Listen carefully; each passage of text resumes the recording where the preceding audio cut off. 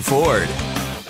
Well, you don't have to come from a major college program to get a shot at the National Football League. Our Hutch Connerman has the story. Last fall, Matt Tunnacliffe was catching passes on Saturday afternoons at Welcome Stadium. This year, the former Dayton Flyer could be delivering long snaps on Sundays. The 6'2", 234-pound Fenwick graduate is a non-drafted free agent at the Bengals rookie camp. My dad actually has season tickets, and so I came to a lot of games growing up.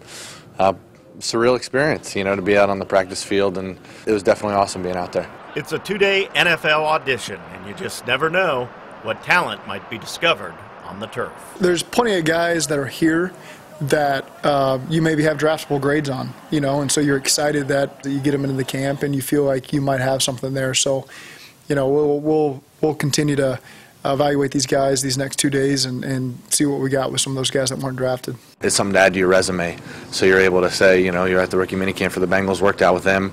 Hopefully, you know, that means something to other teams if they're looking for somebody in the future. Matt Tunnacliffe isn't the only flyer trying to land on an NFL roster this spring. The man he used to snap the ball to, punter Sean Smith, is getting a shot with the Baltimore Ravens. We've been working out, and then he went out to Baltimore, did their rookie minicamp, and was able to give me an idea what to expect.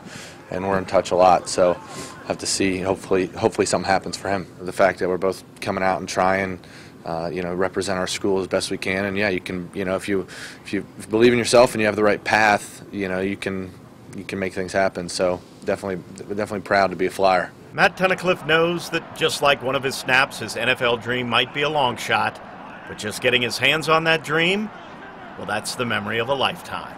At Paul Brown Stadium, Hutch Connerman, 2 Sports.